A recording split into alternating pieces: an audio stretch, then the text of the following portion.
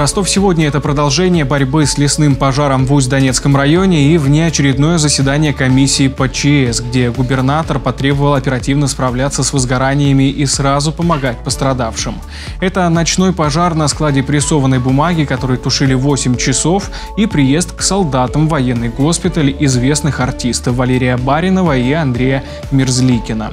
А также личный прием граждан Алексея Логвиненко, где говорилось о запуске нового троллейбусного маршрута в Левинск Одинцовский, достижения донского семеноводства в плане импортозамещения и практические уроки главного детского хирурга страны Дмитрия Морозова в ОДКБ. Ростов сегодня – это поход на старый базар за близкой родственницей, казалось бы, арбуза, но нет огурца. А еще это календарь игр гандболисток Ростовской области на спартакиаде лучших спортсменов, и безветренное плюс 33 за окном. На Первом Ростовском информационная программа «Ростов сегодня». Ее ведущий Дмитрий Сумской. Здравствуйте. Сильный лесной пожар в Усть-Донецком районе потушен. На это ушло двое суток. К сегодняшнему утру огонь удалось локализовать на площади 331 гектар и снять угрозу поселкам. Хотя работы пожарным было еще достаточно, при том, что до сегодняшнего утра авиация во главе самолетом амфибии Б-200 сделала больше 160 сбросов воды, а это в общей массе 520 тонн. В ночь силы и средства были оставлены для э, контроля э, внезапно возникающей задачи в связи с тем, что продолжается ветер и э, высокая температура. Применяется 6 часов авиация МЧС России, Министерство обороны для дотушивания очагов пожара внутри всего площади пройденной огнем. Это не влияет на переход огня на строение. Угрозы населенным пунктам полностью нет. С вертолетов десантировали спасатели и сотрудников Минприроды для дотушивания тлеющих очагов в труднодоступной местности. Подключили плавсредства ГМС. В целом на тушении были задействованы 537 человек и 122 единицы техники. В станице Верхней Кундрючинской, где огонь атаковал три десятка строений и полностью уничтожил семь жилых домов, побывал губернатор Василий Голубев, пообщался с жителями и поручил районным властям и департаменту ПЧС оперативно подготовить документы на компенсационные выплаты. Первая помощь по 10 тысяч рублей. Параллельно с этим продолжается э, оценка ущерба по каждому домовладению. Сейчас подтверждается 7 э, домовладений, в котором проживали люди, 21 человек. А, я сказал, по индивидуально по каждому будем работать и, естественно, в соответствии с законом будем рассматривать сразу выплаты всем этим семьям. Пожар в Усть-Донецком районе начался днем в понедельник возгоранием сухой травы на землях сельхозназначения и перекинулся на деревья лесного фонда. Из двух поселков пришлось эвакуировать людей. Людям, потерявшим жилье или имущество на пожаре, нужно оперативно помогать. Губернатор потребовал этого на внеочередном заседании комиссии по чрезвычайным ситуациям. А вот пример правильного реагирования. Первоочередные выплаты по только что потушенному пожару в Усть-Донецком районе ожидаются уже сегодня вечером. Максимально быстро все должны работать в любой территории и готовить документы, поддерживать людей. На сопровождение нужно брать каждого владельца дома, каждую семью и искать любые решения, чтобы минимизировать те трудности, сложности возникшие. Многие ландшафтные возгорания по предварительной оценке специалистов начинаются из-за коротких замыканий на линиях электропередач от перехлеста проводов. Все случаи пожаров, которые возникли и в течение текущего года, и в последнее время, когда их было много, просто досконально разбираться. Досконально в том, что с этими организациями, они, я знаю, взаимодействуют постоянно с нами, но тем не менее, разбираться не нужно здесь самим себе проблемы создавать. Причины должны быть понятны. Если это есть, мы можем меры принять. Если мы на что-то закроем глаза, завтра повторение будет. Основная задача сейчас – не допускать новых пожаров, а если уж и где-то загорелось, как можно быстрее потушить. Пожары сейчас постоянные составляющие сводок чрезвычайных происшествий. Горят не только поля и леса. Сегодня ночью в Ростове полыхал склад с прессованной бумагой. Подробности в сводке ростовского городового у Анастасии Фериченковой. Учитывая содержимое склада, огонь быстро охватил полторы тысячи квадратных метров площади. Чтобы потушить его полностью, пожарным понадобилось целых 8 часов.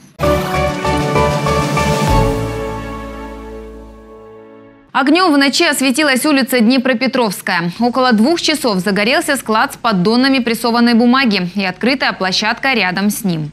По прибытию к месту вызова начальником караула, что и пожарной части было установлено горение в складе на площади полторы тысячи квадратных метров прессованной бумаги, а также стрейч пленки. А, э, незамедлительно был объявлен ранг пожара номер два. Силы и средства были собраны установленные сроки. Локализовать пожар удалось к 5 утра. Полную ликвидацию объявили около 10 часов. Двое безработных 19 и 22 лет отправились разгружать вагоны. Хотя их об этом никто не просил и знать не знал об инициативе. А трудяги вооружились молотком, дождались ночи и подкрались к грузовому поезду на станции Батайск. Сорвали замки и пломбы с трех вагонов и утащили оттуда чугунные печи с дымоходными трубами. Хотели сдать на металлолом, но патрульные полицейские нарушили все планы. Теперь подозреваемым грозит до пяти лет колонии возбуждено уголовное дело по статье «Кража». Десять с половиной тонн топлива попытался провести в Россию старший механик теплохода, прибывшего из турецкого порта Измир. Перебор в топливных емкостях обнаружили при проверке таможенники и пограничники. Механик объяснил, что намеренно занизил цифры в декларации, чтобы потом получить премию за якобы экономию топлива. Теперь вместо премии придется выплатить немалый штраф, вдвое больше стоимости десяти с половиной незадекларированных тонн. На этом все. До встречи. Валерий Баринов, Андрей Мерзликин, Василий Гирелла, Стас Старовойтов рассказывали истории, пели, читали стихи в Ростовском военном госпитале, а еще говорили о патриотизме и защите Родины. Артисты приехали поддержать раненых в ходе спецоперации солдат и признались, что им самим очень нужны такие встречи.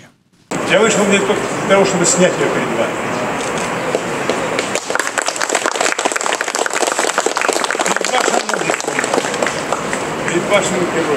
Звезда петербургских тайн и кадет, народный артист России Валерий Баринов в военном госпитале Ростова вместе со звездной командой коллег. Приехали проведать военнослужащих, участников специальной военной операции и выразить восхищение их боевым духом. Люди по-разному относятся к тому событию, которое сейчас происходит. Но когда в доме пожар, за ведра должны хвататься все.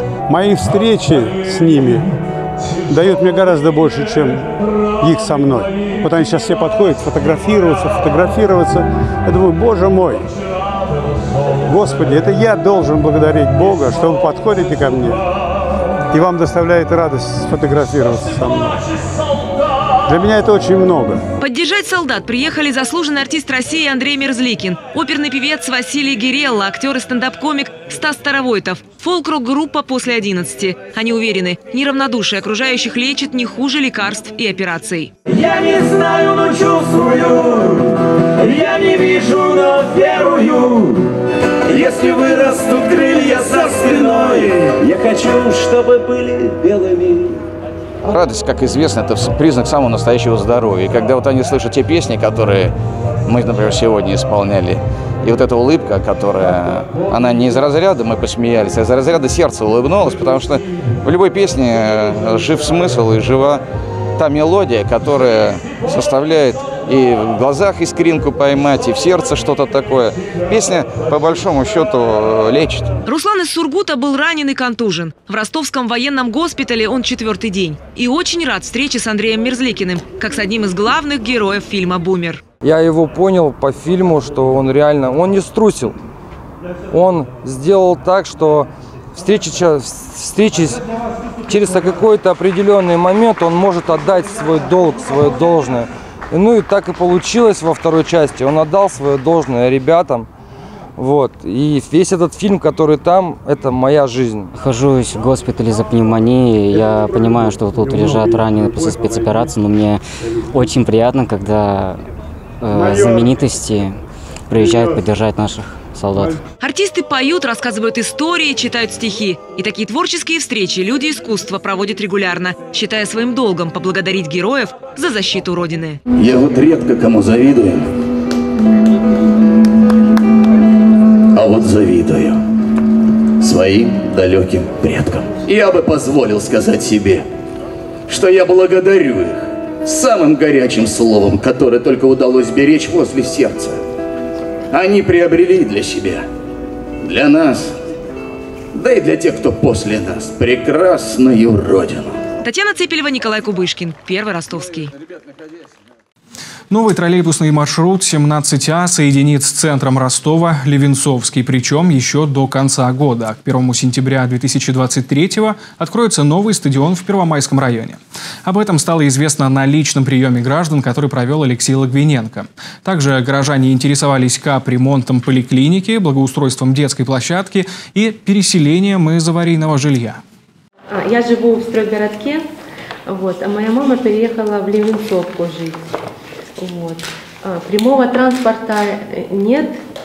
А, с пересадками крайне тяжело, потому что я с коляской, транспорт переполненный, а, у мамы больные ноги, ну, на такси, ездим на такси друг к другу, ну, очень это дорого. Вместе с мамой в декрете Анной Ореховой с похожими проблемами к главе администрации обратились еще несколько человек. Горожане просят продлить троллейбусный маршрут номер 17 «Центральный рынок, стройгородок». И такие планы есть. Сейчас на маршруте работают пять троллейбусов с автономным ходом. Ведь на участке 3,5 километра от стройгородка до площади второй пятилетки нет контактной сети.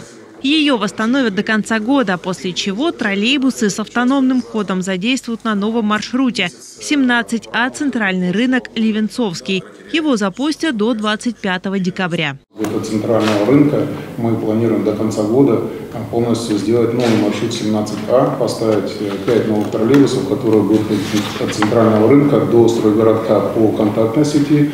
После этого они на автономном ходу будут э, идти через мост Малиновского, э, поворачивать на Еременко и на Солженицына, так как у нас сейчас уже передается в казну Жданова, новые построенные в прошлом году дороги, разворачиваться на Солженицына и в обратном направлении уходить до центрального рынка. Также ростовчан волнует капитальный ремонт филиала городской больницы номер один в Первомайском районе. Он закрыт с 2016 года, но подрядчик должен сдать обновленный объект до ноября 2023 От лица жителей Октябрьского района озвучена просьба отремонтировать детскую площадку по адресу Немировича Данченко, 76.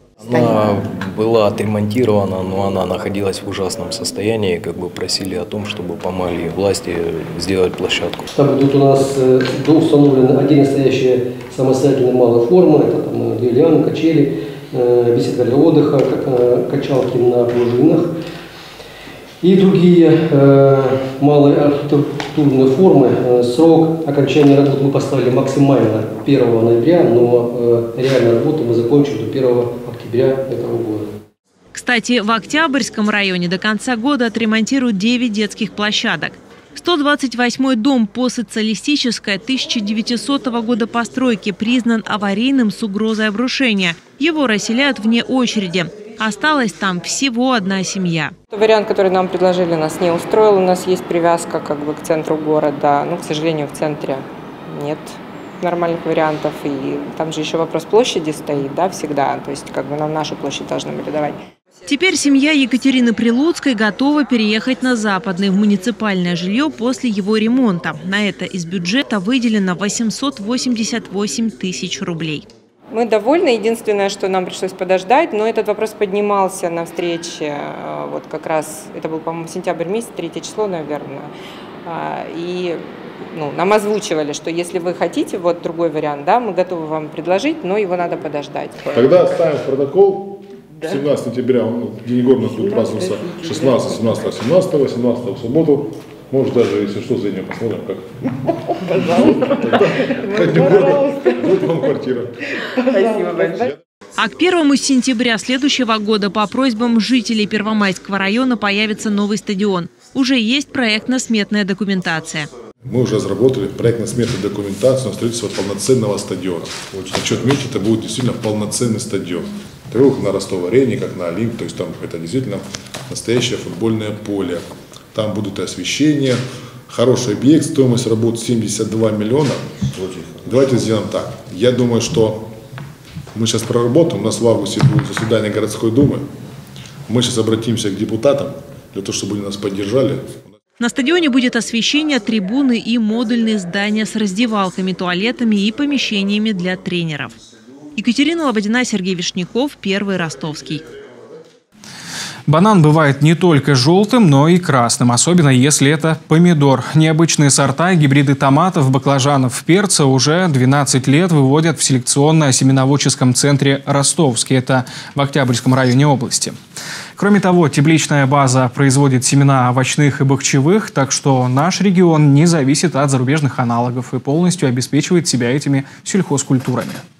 Это вот Бычье сердце биколоры. Это сердце словно бьется в руках, показывая свой розово-желтый бачок. Мясистые сочные томаты идеальны для салатов и соков, а для засолки в банке подойдут помидоры удлиненной формы. В народе сливки, официально бананы, красный и желтый. А еще агроном Валерий Огнев советует попробовать самый необычный сорт – шоколадный фонтан. Плоды красно-зеленой краски, сладкие, с нежным фруктовым вкусом. У него внутри еще один витамин добавлен. То есть в томатах традиционных их нет. Это направление называется кумата. Значит, э, с П-активными веществами. П-активные вещества, антоцианы. Для чего? Это дополнительно. Томат стал как перец поливитаминным концентратом. Помидор, перец и баклажан – ведущий культуры селекционно-семеноводческого центра «Ростовский». 12 лет тепличный комбинат в Красюковской Слободе создает для региона овощные бахчевые новинки – 6 сортов и 12 гибридов томата, 14 сортов и 8 гибридов перца, 8 сортов и 1 гибрид баклажана, по сорту свеклы, редиса и огурца. Все они адаптированы к нашему климату, а значит высокоурожайные, солевыносливые, устойчивые к жаре и болезням. Сейчас наши образцы все большей популярностью пользуются, потому что они создаются в регионе для региона. И в этом отношении они обладают теми качествами, которые присущи именно нашим сортам. Во-первых, пищевые достоинства, вкусовые качества, чего иностранные гибриды, как правило, лишены.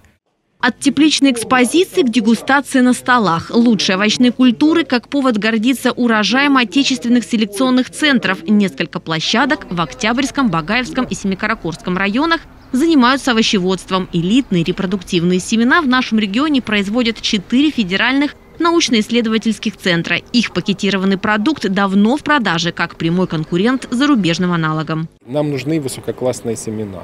И мы э, видим вот на примере э, центра э, ростовского, это агрофирма «Поиск», э, что та продукция, семена, которые они культивируют, она очень высокого класса. Мы сейчас провели дегустацию. Я хочу сказать, что действительно э, эта продукция будет пользоваться и по вкусовым качеством, и по внешнему виду она очень красивая. Конечно, будет пользоваться на э, спросом у жителей Ростовской области. Научная работа ведется и по созданию новых сортов озимых и яровых зерновых, зернобобовых и масличных культур. Вопросы селекции семеноводства обсуждались на выездном совещании. Область полностью обеспечивает себя зерновыми и зернобобовыми. Хватает региону семян подсолнечника и кукурузы. Правда, по словам агрономов, отечественные разработки пока менее продуктивны. Так что задача семеноводов – вывести именно высокоурожайные гибриды. Юлия Сурикова, Юрий Лешко, Первый, Ростовский. Главный детский хирург России Дмитрий Морозов отработал три дня в областной детской клинической больнице. График был предельно насыщенный, осмотр прооперированных им в предыдущие приезды детей и пациентов, которых вот-вот будут оперировать. Ну и сами сложные операции. Их специалист сделал четыре вместе с хирургами ОДКБ. Застилая постели, раскладывая игрушки, Елена Могилина уже улыбается. Пятая операция для ее ребенка прошла успешно, и пока он в реанимации, мама приходит в себя. О том, что у малыша врожденная патология толстой кишки, стало известно сразу после родов. У нас с рождения, на вторые сутки мы сюда попали. Нас Андрей Сергеевич Коняхин оперировал и на Вашинова Глеб Валерьевич. Ну, получается, вытащили ребенка с того света. Они сказали, если бы еще чуть, просто бы не успели. Твой ребенок болеет, мать сильная, ребенок сильный. Мать будет слабая, ребенок будет слабый. Поэтому самое главное – верить во врачей, в себя, в ребенка, и все будет отлично. Благодаря этой сложной и долгой на несколько часов операции малыш сможет жить полноценной жизнью. Главный детский хирург страны Дмитрий Морозов приезжает поработать в Ростов уже в четвертый раз. Вместе с командой ростовских специалистов провел несколько реконструктивных хирургических операций. Такая вот наглядная практическая учеба. Каждый малышонок, он как бы уникален, каждый пациент. Ты вроде бы всю жизнь это делаешь, заходишь, э, начинаешь разрезать, заходишь в ткани, видишь, что у него вот такой вариант, у этого другой вариант. Наша, это детская хирургия, в ней всегда очень много творчества, поэтому мы оперируем не торопясь, взвешивая все про и контры, иногда даже берем некие паузы на осмысление. Вчера, кстати, вот такой вот у малышонка была ситуация, когда нам пришлось взять паузу, все вместе собраться, понять, потому что пороки развития, они всегда причудливые, ты можешь столкнуться с тем, чего вообще никогда не было, никогда. Дмитрий Морозов осмотрел детей с патологией половой дифференцировки и тяжелых в реанимации. Тут польза и пациентам, и врачам. Работая с таким специалистом, ростовские хирурги набирают опыт. Все это делается для того, чтобы медицинская помощь детскому населению была более качественная, хирургическая. И вы знаете, что у нас соседние территории Украины, к нам поступают оттуда дети. Там большой дефицит врачебных кадров, особенно хирургических, которые оказывают высокотехнологичную медицинскую помощь. Также Дмитрий Морозов побывал на стройке детского хирургического центра инновационных технологий, который, по его мнению, будет претендовать на статус межрегионального центра Юга России. Лидия Романченко, Николай Кубышкин, Первый Ростовский. Ростовчанин решил испытать внедорожник на водопрочность, но попытка буквально провалилась на дно. Водитель вылезти из салона успел, а машина затонула в северном водохранилище. Наш корреспондент Юлия Карасюк заметила погружение через интернет и готова рассказать, что еще удивило или повеселило ростовчан в сети. Еще на День города нас ждут Вера, Надежда, Любовь, а вот в десятом кабинете никто никого не ждет, потому что никто не знает, где он находится. Но все объяснения после. Автозаплыв на Северном водохранилище едва не закончился трагедией. Самая дорогая раколовка Ростова. На кувшинке утонул внедорожник. Водитель выбрался. Он сам туда заехал, в месте, где нет ограждения, сообщает автор фото. История не вызвала сочувствия у пользователей сети. Они стали писать ехидные комментарии. Водителю надо было остаться, чтобы раколовка работала. А так это домик для сомиков. Кто-то решил, что это лучший рекламный ход для выносливости внедорожника. Проводка не просто хорошая, а очень хорошая. Обвинили в произошедшем и неведомые силы силы там в прошлом году одна такая же чуть не уплыла, место заколдованное. Веру, надежду и любовь можно будет увидеть в левобережном парке Ростова. Они соберутся в новый арт-объект. 17 сентября в День города установят слово «любовь», а к 30 сентября появятся еще два слова «вера» и «надежда». Состоится финальное торжественное открытие, сообщают авторы поста. Но идею оценили далеко не всем. Древние греки пилили из камня монументальные статуи, но пришел прогресс и теперь буковки из фанеры и пластика. Недовольным посоветовали просто проходить мимо и не мешать фотографироваться с верой в любовь. Зашкаливающее количество предупреждающих объявлений на одну входную дверь заметили ростовчане. Организацию явно достало, что большинство приходит не по адресу. Без масок не входить, фото и ксерокс не работают, это, кстати, повторяется дважды, а для самых непонятливых тройное предупреждение. Мы не десятый кабинет, его нет, он за магазином. Становится даже интересно, что это за кабинет такой, десятый. А вот и реакция ростовчан. И все же надо проверить, может, это и есть десятый кабинет? Я думаю, десятый определенно там. Нужно зайти. А вот сообщение тех, кто докопался до истины. Недавно искала этот десятый кабинет, он за магазином продукты. Но девушку попросили не сдавать пароли и явки. Мол, пусть ищут сами. А в десятом кабинете, кстати, паспортный стол. И теперь найти его точно сможет каждый. В крайнем случае можно зайти и уточнить в организации. На этом у меня все. Передаю слово. Спасибо, Юля, а мы продолжаем. Отправившись за арбузом на Старый базар, наш корреспондент Лидия Романченко купила сразу несколько желтых, ведь где арбузы, там и их верные спутницы дыни. Так что сегодня под разбор цен, сортов и вкусов пойдут именно они. Да, пройти мимо ярко-желтых рядов и не поинтересоваться, сколько стоит, а потом и не взять вот эту и вон ту, я не смогла, честно говоря, и не пыталась.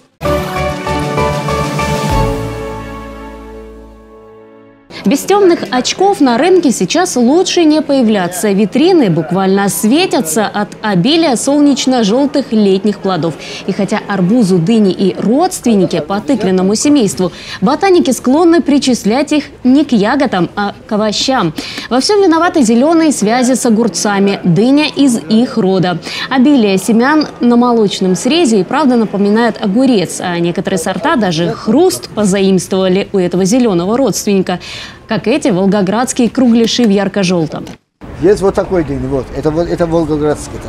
Это как яблок хрустящий. Это твердой сладкий, ну он чуть-чуть, это кожра из его, толстый. А вот это наш ростовский, это эфиопия, тоже хороший. Ну, каждый товар свой вкус есть. Самым сладким вкусом славится узбекская торпеда. Ее нежная мякоть бережно завернута природой в тончайшую кожуру, покрытую ажурной сеточкой. И при такой, казалось бы, уязвимой природной упаковке эти не малыши прекрасно хранят свежесть. Самое холодное место положи, вот э, темнота место, а там она стоит нормально. Его трогать не надо. Как еда, она может два недели, три, один месяц можно стоять. Если будет туда-сюда кидать, он будет начинаться черными точками будет. Чернота должна отпугнуть и при покупке на дыне не должно быть посторонних пятен и никакого рукоприкладства. При выборе не надо по ней стучать, как по арбузу. Лучше просто погладьте. Черный не бери, мягкий не бери. Вот есть, как видишь, все ровно, все нормально, шашаву. Это они, эти все хорошие сладкие. Так сколько же стоит унести это хорошее и сладкое солнышко к себе домой? Дыни на прилавке вышли еще в июне, но тогда они взяли высоту в 150 рублей за килограмм. Золотая цена, учитывая, что одним килограммом плод не обходится. К июлю цены сжались до сотни. По 100 рублей и сегодня можно найти этот десертный овощ, хотя с массовым сбором в августе нижний предел цен спустился до 60. Так, и здесь у вас есть 2 810 на 225 рублей. Считаем. А вот считать калории худеющим не придется. При всей сладости в 100 граммах их всего 38. На 90% дыня состоит из воды, и по этому поводу восточная мудрость, которая звучит как тост. Дыня делает волосы блестящими, глаза молодыми, губы свежими, желания сильными, возможности исполнимыми, мужчин желанными, а женщин прекрасными. Этим, пожалуй, и закончу. Спасибо, Лида. Ну а мы переходим к спорту. Гандбольный турнир первой всероссийской спартакиады среди сильнейших спортсменов стартует в субботу. 12 сборных регионов, а это по сути 12 сильнейших клубов страны, разбиты на две группы. Представляющие Ростовскую область Ростов-Дон в группе А начинают наши девушки с Удмуртией, то есть Ижевским университетом. Дальше игры с Адыгеей, Приморским краем, Астраханской областью и хозяйкой турнира Звенигородской звездой, представляющей Московскую область. 26 августа команды поборются за выход в полуфинал, 28 полуфиналы и в понедельник, 29 августа, финал. Главный наш соперник Москва, за которую сыграют гонболистки ЦСКА. Большинство россиян чувствуют себя моложе тех лет, что зафиксированы в их паспортах. Такие результаты дал свежий опрос в ЦИОМ. 35% относят себя к молодежи, в том числе люди от 35 до 44 лет, а из опрошенных старше 60 лет пожилыми себя считают только 18%. Ну а какие возрастные ощущения испытывают ростовчане? Исследование провела наша съемочная группа.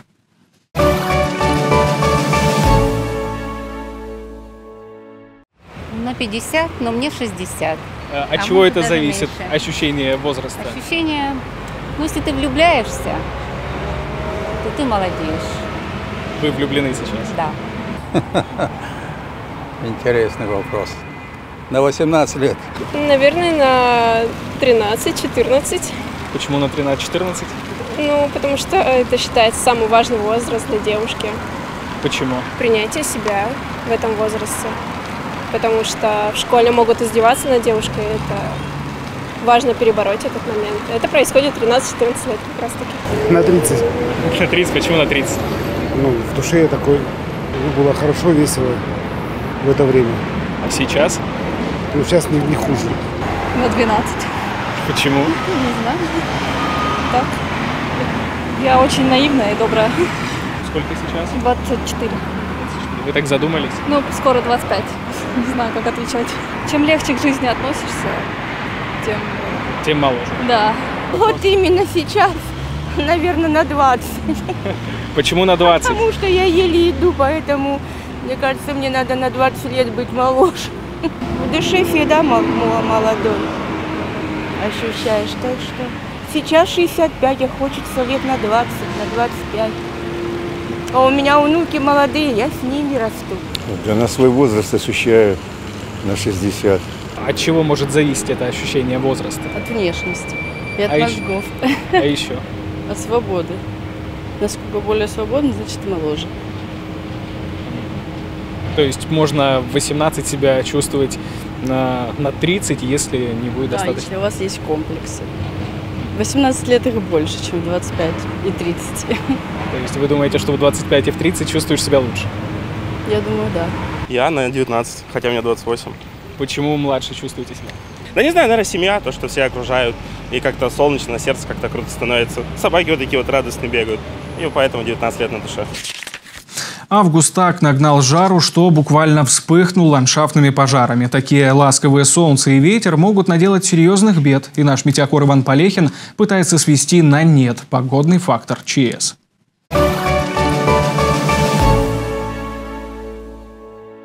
Ростовчане, всем огромный привет. И этот привет сегодня у меня крайне серьезный. И вот почему.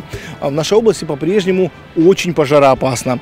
А, Все мы видим, э, к чему приводят и чем опасны эти августовские палящие дни. А, Какие ландшафтные пожары вот бушуют в Усть-Донецком районе, к примеру, на данный момент. Да? Так что еще раз напомню основные правила пожарной безопасности. Ну, все мы знаем, что на природе разводить костры и вообще огонь категорически запрещено. Но а жарить шашлыки нужно только в специально отведенных для этого местах. А в целом просто будьте очень внимательны в обращении с огнем хотя бы до середины осени.